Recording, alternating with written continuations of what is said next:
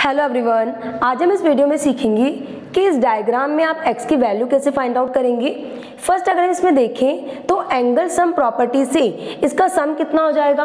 180 degree तो हम क्या कह सकते हैं कि angle A plus angle B plus angle C equal कितना होगा? 180 तो by angle sum property of a triangle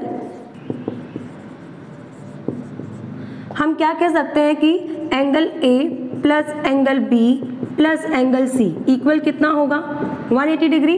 okay, angle A है एक्स प्लस, एंगल बी है 50 डिग्री, एंगल सी है 60 degree equal 180 degree. X as it is plus 50 plus 60 110 degree equal 180 degree. X equal 180 degree minus करेंगे 110 degree को तो x equal कितना आएगा? 70 degree okay तो इस तरीके से आप x की वैल्यू को फाइंड आउट करेंगे. नेक्स्ट क्वेश्चन देखते हैं. नेक्स्ट अगर हम इसमें देखें तो हम इसमें x की वैल्यू कैसे फाइंड आउट करेंगे? वही सेम एंगल सम प्रॉपर्टी से हम क्या कह सकते हैं? कि angle a plus angle b plus angle c equal कितना होगा? 180 तो by angle sum property of a triangle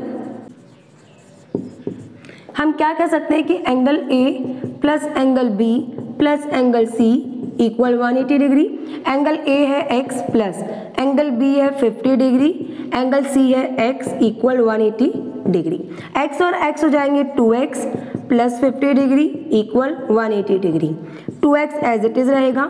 180 में से हम 50 डिग्री को क्या कर देंगे? माइनस तो 2x इक्वल हो जाएगा. 130 डिग्री। तो x की वैल्यू क्या होंगी?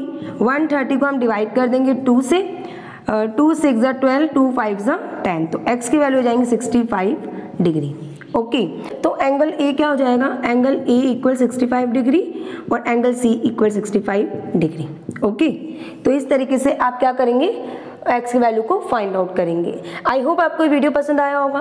Thanks for watching this video